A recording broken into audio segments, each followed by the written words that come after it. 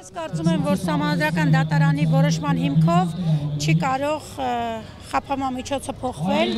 որովհետև համանդրական դատարանի որոշումը վերաբերվում է իր կարգավիճակից բխող գործողությունների համար քրեական պատասխանատվության ենթարկելուն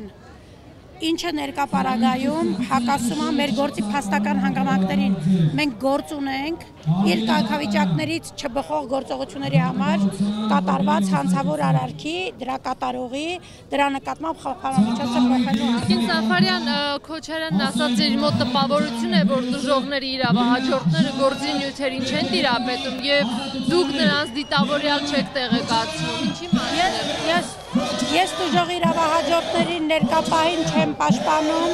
ես նրանց պաշտպանել եմ միայն վերաքննիչ դատարանում, որևէ կապ չունեմ։ Քոչարյանը իմ դեմ խնդիր ունի, դրա համար ինքը կարող է ինձ մեղադրել, ինչի մեջ ուզում է։ Այսինքն դա ձեզ է ուղղված է։ Իհարկե ինձ է ուղղված, իհարկե ինձ է ուղղված շնորհակալություն։ Ասում էր առաջարկում են իր բարերն ասեմ, ինձ առաջարկում են դատել նրա համար, որ պատշաճ մարմինները գործը չեն բացահայտել։ Ասում են դա իմ իրավասությունների մեջ Հանրապետության նախկին նախագահ ինքը չգիտի, որ դա այդ գործառույթների շրջանակում շատ կարևոր տեղ է գրավում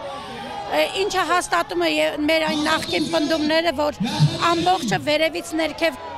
կառավարվել է Ռոբերտ Քոչարյանի վարչակազմի, այնուհետև Սերժ Սարգսյանի վարչակազմի օրոք, որի արդյունքում մենք ունեցանք այսպիսի պատկեր։ Իշխանությունների տարանջատումը բացակայում էր, դատական համակարգը 2008 թվականին բացարձակ չէր գործում եւ կարծում եմ, որ դրանց բոլորի պատասխանատուն հանրապետության նախագահն է։ Տիկին Սաֆարյանը, դուք պնդում եք, որ Քոչարյանը կալանքի տակ պետք է մնա։ Այո,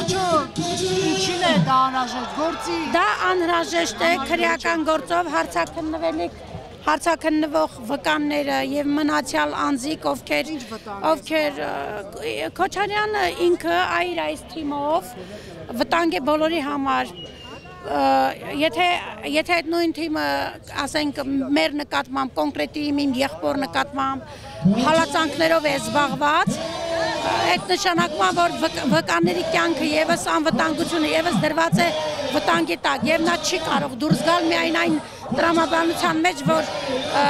ամբողջ այն վկաների խումբը